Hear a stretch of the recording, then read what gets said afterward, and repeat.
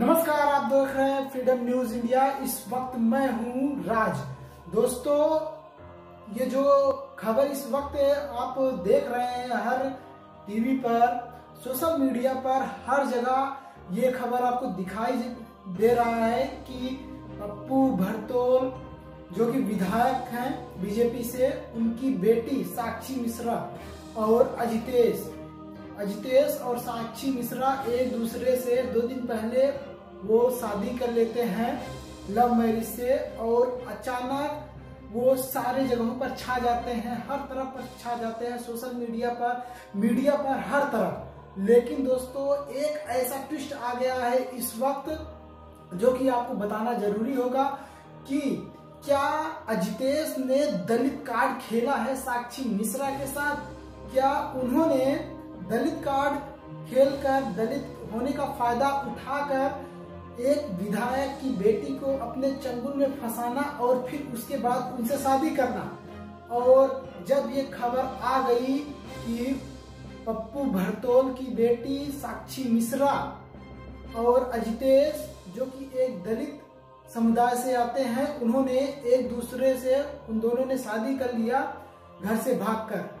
और फिर उसके बाद ये अटकलें लगाई जा रही थी कि जो अजितेश है वो एक अच्छे परिवार से बिलोंग करता है और इन्होंने जो शादी की है, अपनी मर्ज़ी से किया है। लेकिन दोस्तों, अब जो खबरें आ रही है, वो थोड़ा हट के आ रही है। कहा जा रहा है कि जो अजितेश है, वो एक नंबर का अयास है, एक नंबर का लफंगा है। क्या ये सत्य है, क्या नहीं सकते है, ये हम आपको नहीं बता सकते। हमारा चैनल इस पर पुष्टि नहीं करता, लेकिन हम आपको दोस्तों बता दें कि रिपोर्ट्स के मुताबिक रिपब्लिक भारत की जब टीम रायबरेली के गाँव में जब गई, जहाँ से अजितेश बिलोंग करते हैं तो जब पूछताछ किया गया तो ये पाया गया कि जो अजितेश है, एक नंबर का मतलब बिगड़ा हुआ लड़का है और उसने इस लड़की को जानबूझकर दलित होने का फ़ायदा उठाकर उसने पहले इसको अपने चंगुल में फंसाया और फिर उससे बहला फुसला कर उस, उसको शादी कर लिया। और दोस्तों इसका पहले भी कहते हैं कि पहले भी इसका मंगनी हो चुकी थी जो सगाई हो चुकी थी इस लड़के का। और फिर जब उस लड़की के घर वाले जब जान गए थे कि एक नंबर का बिगड़ा हुआ लड़का है तो उन्होंने शादी कैंसिल कर दी थी। और हम आपको बता दें दोस्तों कि जो अजितेश है, इसका इस इस लड़के को कहा जा रहा था कि थोड़ा दबंग टाइप का लड़का है और ये ये जो है, बंदूक, तरह तरह की बंदूकें, तरह तरह की गाड़ियों में चलने का शौकीन है और नशेड़ी है। हर तरह का वो नशा करता है दोस्तों।